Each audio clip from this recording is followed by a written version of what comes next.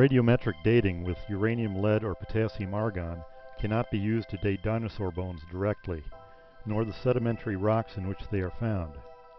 Since the 1800s, dinosaur bones have been assigned ages according to their place in the geologic column. For dinosaurs, that is 65 to 230 million years ago. When carbon-14 dating became available around 1950, dinosaur bones were considered to be way beyond its detection limit of tens of thousands of years, so nobody bothered to test them with it. Carbon-14, or radiocarbon, is considered to be extremely reliable. Its accuracy has been verified by using it to date artifacts whose age is known historically. While an animal is alive, it takes in radioactive carbon-14. When it dies, the carbon-14 decays away over time. The amount remaining tells you how long the animal has been dead. Many dinosaur bones are not fossilized. Dr. Mary Schweitzer, Associate Professor of Marine, Earth, and Atmospheric Sciences at North Carolina State University, surprised scientists in 2005 when she reported finding soft tissue in dinosaur bones. She started a firestorm of controversy in 2007 and 2008 when she reported that she had sequenced proteins in dinosaur bones. Critics charged that the findings were mistaken or that what she called soft tissue was really biofilm produced by bacteria that had entered from outside the bone. Schweitzer answered the challenge by testing with antibodies. Her report in 2009 confirmed the presence of collagen and other proteins that bacteria do not make. The reason for the controversy is that all traces of soft tissue should have disappeared by 100,000 years. Likewise, if dinosaur bones are 65 to 230 million years old, there should not be any carbon-14 left in them either, but there is. Members of the paleochronology group are consultants in geology, paleontology, chemistry, engineering, and education who perform research on fossils. They have now tested samples for many different dinosaur skeletons for carbon-14, and in every case the dates fall between 22,000 and 39,000 years before present. That easily explains why soft tissue survived till now. Dinosaur bones are much younger than they were assumed to be. The Morrison Formation is a dinosaur graveyard averaging about 330 feet thick that covers much of the central United States with layers of sand, mud, and silt cemented into rock with calcium carbonate, limestone. Its position in the geologic column is late Jurassic. In 1989, a team dug up a skeleton buried just west of Grand Junction, Colorado. It was an Allosaurus, a 40-foot long carnivorous dinosaur. Here we see an upper hip bone, or ilium, being uncovered. These are vertebrae, a rib, and a tarsal bone that was part of a foot. A bone sample was sent to the University of Georgia for carbon-14 testing in their accelerator mass spectrometer. The result was a date of 31,360 years before present, plus or minus 100 years. The Hell Creek Formation is another dinosaur graveyard in Upper Cretaceous layers of sandstone, mudstone, and clay, 130 to 560 feet thick. The formation covers a swath across the north-central part of the United States. In 2007, a skeleton was dug up seven and a half miles southeast of Glendive, Montana. It was a very large ceratopsian dinosaur like this Triceratops, but it had an unusual protective frill and its brow horns extended sideways, so it may be a new type of ceratopsid. Over half of the bones were removed from the dig site. They included bones of the front left leg and shoulder blade, the neck, the nose horn, the left femur, part of the protective frill, a left lower hip bone or ischium, and a bone that projects from the shoulder blade called a coracoid. A bone sample from the femur was sent to the University of Georgia for carbon-14 testing in their accelerator mass spectrometer. The result was a date of 39,230 years before present, plus or minus 140 years. In 2004 there was another find in the Hell Creek Formation, this time about 3 miles east of Glendive, Montana. It was from a Triceratops. only a single femur was uncovered. It was wrapped in protective covering and sawed open. Samples were removed. Testing for carbon-14 at the University of Georgia in 2009 resulted in a date of 24,340 years before present, plus or minus 70 years. Apatosaurus was a sauropod dinosaur. The remains of one was found in late Jurassic strata of the Morrison Formation about 85 miles northeast of Denver. It was partially excavated in 2007 and 2009. An embedded rib was exposed, and scrapings were taken to be tested for carbon-14.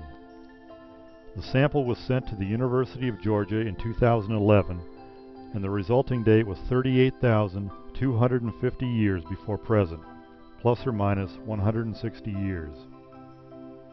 In 2011, a hip bone of a duck-billed hadrosaur was found near Marmarth, North Dakota in the Hell Creek Formation of late Cretaceous strata. Scrapings from a bone sample were sent to the University of Georgia. The carbon-14 date is 37,660 years before present, plus or minus 160 years. In May 2012, the brow horn of a Triceratops was uncovered about 6 miles southeast of Glendive, Montana. A bone sample was sent to the University of Georgia to test for carbon-14. It dated to 33,570 years before present, plus or minus 120 years. In 2004, a femur bone from a duck-billed hadrosaur was found about 10 miles southeast of Glendive, Montana in the Hell Creek Formation. It was sawed open in 2005 and numerous samples were taken. A sample sent to the University of Georgia was tested for carbon-14 on their accelerator mass spectrometer and yielded a date of 25,670 years before present, plus or minus 220 years. Acrocanthosaurus was a carnivorous dinosaur. Remains of one were found near Glen Rose, Texas in Cretaceous sandstone and excavated in 1984. A bone sample was sent to the University of Georgia in 2010 for testing, and the carbon-14 date was 29,690 years before present, plus or minus 90 years. Carbon-14 is a radioisotope with a half-life of 5,730 years. The useful limit for accelerator mass spectrometry is normally around 43,000 years. Since 2010, that limit was increased to around 55,000 at the University of Georgia's facility. The dates for all the dinosaur bone samples tested are well below these limits. The researchers took special care to preclude contamination by protecting the samples and avoiding cracked areas in the bones. The Center for Applied Isotope Studies at the University of Georgia treated the dinosaur samples in precisely the same way that they treat any other bone samples from late Pleistocene mammals up to the present time. On each report, they wrote what they did. They cleaned the bone with an ultrasonic bath. The bone was crushed and treated with acetic acid to remove carbonates absorbed from outside the bone during burial. Hydrochloric acid was added in a vacuum to dissolve the bone mineral and release carbon dioxide from bioapatite, which then was tested for carbon-14. The presence of soft tissue and intrinsic carbon-14 in well-preserved dinosaur bones has clearly been established, but scientists don't want to believe it. In 2011, a Swedish team found soft tissue and biomolecules in the bones of another creature from the time of the dinosaurs, a mosasaur which was a giant lizard that swam in shallow ocean waters. They obtained a carbon-14 date of 24,600 years before present, but assumed it must be from bacteria, even though they didn't find any. In August 2012, the Paleochronology Group presented their carbon-14 test results at a joint meeting in Singapore of the American Geophysical Union and the Asia-Oceania Geosciences Society. After the conference, they received a note from the conference chairman. It said, There is obviously an error in these data. and removed the abstract from the conference website. They never made the slightest effort to see the data, it just did not fit the assigned ages for dinosaurs. When they found out about data that was not what they wanted to hear, the so-called scientists moved quickly and decisively to make the test results go away, because anomalies are heresy that must be suppressed. This shameful attitude is common among leaders of modern science, and the news media trusts them completely. So the only way you can find out about it is here on the internet. By contrast, actual scientists are eager to discover the unexpected, to learn, adapt, and advance human understanding. Fortunately, the group's abstract is on the conference CD that was given to each of the more than 2,000 scientists in attendance. Accelerator mass spectrometry is a technique to measure isotopes that has dramatically improved the ability to detect tiny amounts of radiocarbon in samples. It was first used for this in 1977. A sample is vaporized. The components are ionized, and the ions are accelerated with a magnetic field. The trajectory of the ions bends depending on the mass of the ions. So by adjusting the strength of the magnetic field, you can select isotopes of interest.